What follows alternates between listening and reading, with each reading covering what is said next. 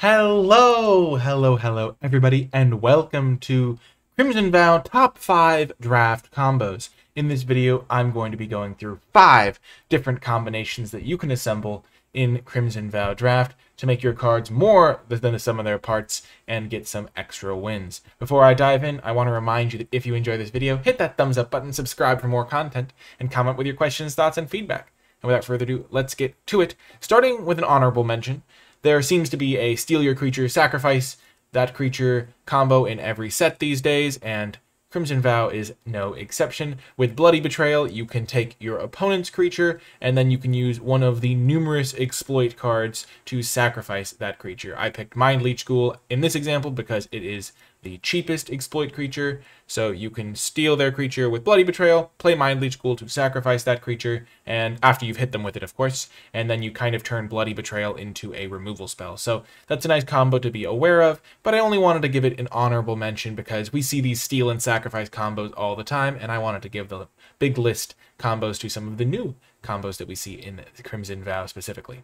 So, moving on to number five, we have The Invitation, Gluttonous Guest, Courier Bat. Not only a flavor combo, but also a gameplay combo, because while the Courier Bat is delivering the invitation to the guest, in the gameplay itself, Gluttonous Guest comes with a blood token. You can use that blood token to discard a creature card into your graveyard, and when you do, you gain one life, which will then allow your Courier Bat to enter the battlefield and have its trigger actually come into play, because the Bat only returns a creature from your graveyard to your hand if you gained a life this turn, or gained some life this turn. So Gluttonous Guest gains you the life and discards the creature, and then Bat essentially draws back that creature. So you end up up a card, because when you discarded the card with the blood token, you drew a card. So it's a cool little combination of two commons that play well together, and so that's one that is definitely good to be aware of.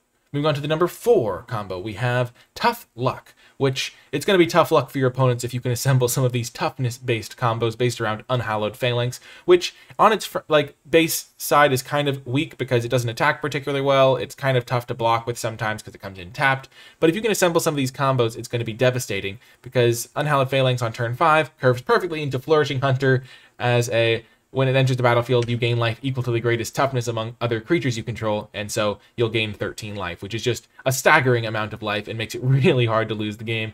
And your opponent's just going to be sitting there with their aggro cards like, none of these matter anymore. And you also still have these massive blockers. If you are trying to figure out how to close the game with these massive toughness creatures, you can use Catapult Fodder, which is the front side of the more effective card. It will flip if you have three creatures with high toughness, so you have to kind of build your board state around it, but then you flip it into Catapult Captain, and you can start flinging your Unhallowed Phalanx at your opponent to make them lose 13 life. And then the capper is Ancient Lumberknot. If you're playing black-green anyway, if you're playing all these high-toughness creatures, you might as well just attack directly with Unhallowed Phalanx for 13 points of damage. So some pretty cool toughness-based combos you can assemble, and uh, definitely some good things to be aware of with the Unhallowed Phalanx, which gives you some neat little play to it if you are in a deck that can make use of it. Not really a card you'll have to prioritize because most people aren't going to be able to use it, but if you can, then you uh, can get a little bit of an advantage.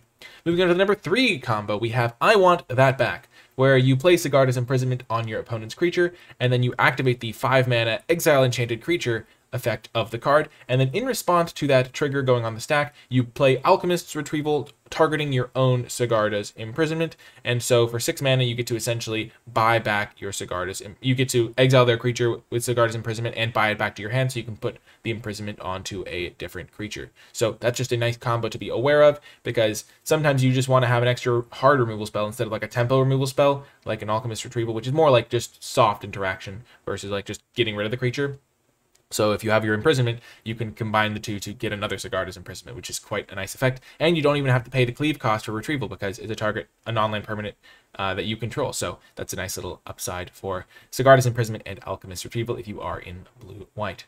Moving on to the number two combo in the set, we have Poison Arrows, which is the combination between Ballista Watcher and Toxic Scorpion. So essentially, the Ballista Watcher can deal one damage to any target, and Toxic Scorpion can give it death target creature you control death touch. And so what happens is if you give Ballista Watcher death touch, then you are able to activate its ability and ping a creature, and because your guy has Death Touch, you'll get to kill any creature you want. So that's a nice combo to be aware of that turns your Ballista Watcher into a, a removal spell if you combine it with the Toxic Scorpion. And if it does become nighttime and you have the Ballista Wielder, which doesn't have to tap to activate, and you have enough mana to cast Toxic Scorpion, you can even activate it twice and mow down multiple creatures in one turn if you can get up to 8 mana. So that's just a really cool combo to be aware of as well. Just really, um, like, sniping your opponent's creatures with your poison arrows.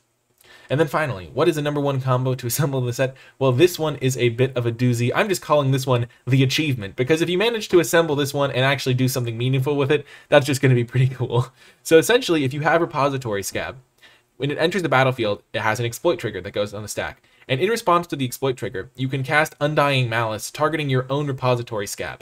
And then you can exploit the repository Skaab uh, by sacrificing itself, which because your Undying Malice is now back in your graveyard, you can then return the Undying Malice back to your hand, and Repository Skaab will die. And then you return it to the battlefield, um, and you kind of can repeat that loop for however much extra black mana you have after, like, it does cost 5 to start, but let's just say you have 10 mana, hypothetically, and you have all, a bunch of it is black mana. You can just kind of loop this five different. You can just have your repository Skaab enter the battlefield, die, and cast. You can cast your Undying Malice for like every black mana you have. And what ends up happening is you end up with a 4 4 repository Skaab, which is fine, and you end up with Undying Malice back in your hand, which is just kind of funny, or whatever other instant or sorcery you wanted from your graveyard.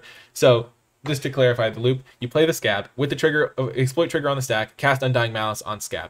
Undying Malice is now in your graveyard. You target your your repository Skaab to have it exploit itself, so it sacrifices itself. It has now died, which triggers the Undying Malice, which um uh first the undying malice comes back to your hand because the repository Skaab has exploited a creature and then undying the undying malice trigger happens the repository Skaab comes back into play and you then it with a plus one plus one counter and then you have the option to cast the undying malice on it again and repeat the loop and uh, so if you have enough mana you can just do this over and over and over and not only you can get uh, however many death triggers you want. If you have any cards that care about creatures dying, you can get some triggers for having cards enter your graveyard. There are some cards that care about like creatures entering your graveyard. Uh, you can also have um, some triggers for having cards with, um, like you can have some triggers for just casting instants and sorcery spells. So for example, if you have Kessig Flamebreather, every time you do the loop, you deal a damage to the opponent, um, which is really funny. So if you have like a bunch of mana, you can like Lava Axe your opponent with just random combos. I mean, that is the three color combo, but it's just kind of wild. Or Frenzy Devils can just get plus two plus two for every time you loop the combo. And there's just a bunch of cool little uh, synergies you can maybe find that uses that combo. And if you do something really sweet with that, comment that below in one of my YouTube videos because I would love to see what you can do with that sort of combo. It just seems really funny and uh, really kind of neat and the sort of thing that I don't know. It just looks kind of like a sweet combo. Like you can trigger it like a few times if you have both those cards in your deck. And also, just want to note that Undying Malice also plays well with other exploit cards. It doesn't just have to be Repository Skaab, that you can't just keep looping it. But if you want to exploit a creature to itself, you can use the Undying Malice to get your exploit creature back. So if you want to double up on that trigger for some reason, uh, that's just a combo to be worth uh, worth knowing. But yeah, just kind of a fun little combo for you to try and assemble. And uh, that's why I put it at number one and called it the achievement. Um, but yeah, that is going to do it for the top five combos in Crimson Vow Draft. Remember that if you enjoyed this video, hit that like button, subscribe for more Crimson Vow content and other draft content, and comment below if you have any questions or feedback or any combos that you found that you would like to highlight so that I can find them and maybe try to employ them myself. And if you did make it all the way to the end of this video, leave hashtag wedding combo to let me know you made it all the way to the end of the video because a wedding is the ultimate combo between bride and groom uh, in holy matrimony. So, uh, just a classic combo in and of itself. Um, that is going to do it for this video, though. I really do hope you enjoyed it, and I will talk to you next time.